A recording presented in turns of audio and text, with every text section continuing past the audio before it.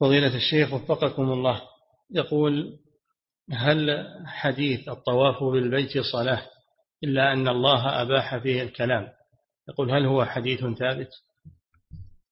هو الصحيح أنه موقوف على ابن عباس موقوف لكن قالوا هو موقوف بمعنى المرفوع لأن الإخبار بأن الطواف صلاة هذا لا لا مجال للاجتهاد فيه.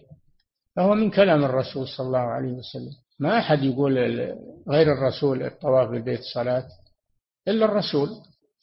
فيكون موقوفا بما بمثابة المرفوع إلى الرسول صلى الله عليه وسلم.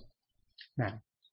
من حيث السند هو موقوف من حيث المعنى هو مرفوع. نعم.